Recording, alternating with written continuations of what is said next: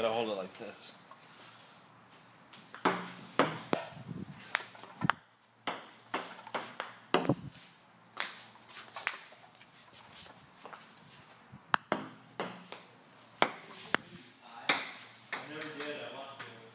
Yeah, this is a good idea.